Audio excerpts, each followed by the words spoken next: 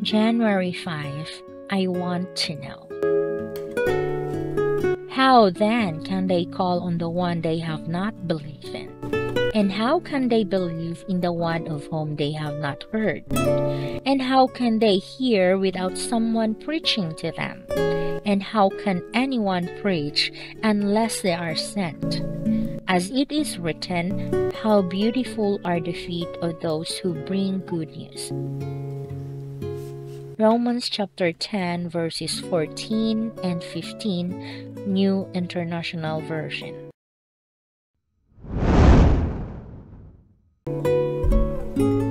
My husband and I were concluding the process for the sale of our home with our real estate agent. We just signed the papers and taken a deep breath. What do you do? Lori asked me out of the blue. I'm what our denomination calls a Bible worker, I said. What's a Bible worker and what do you do? She asked. Though I'm just about to retire, I study the Bible with people who are interested in knowing more about it, and I want to know more about the Bible. She interjected unexpectedly.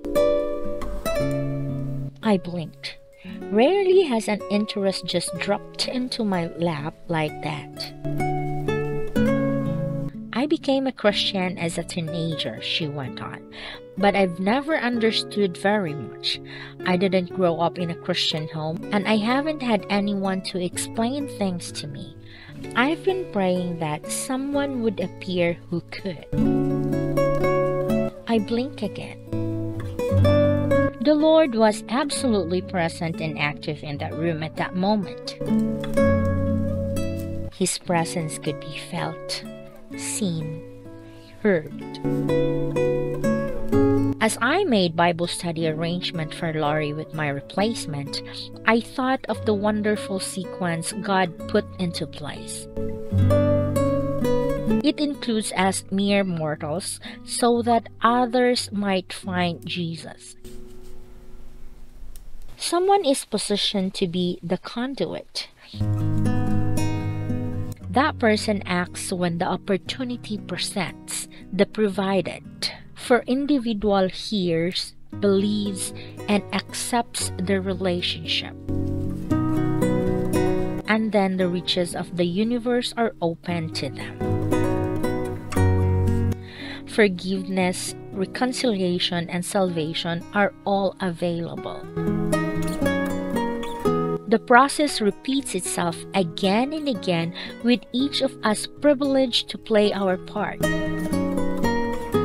We can, if we choose, and we must so choose if we wish to remain in relationship ourselves, play a part in this grand design.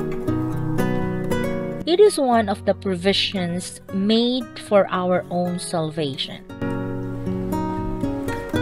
So let's choose to play our part.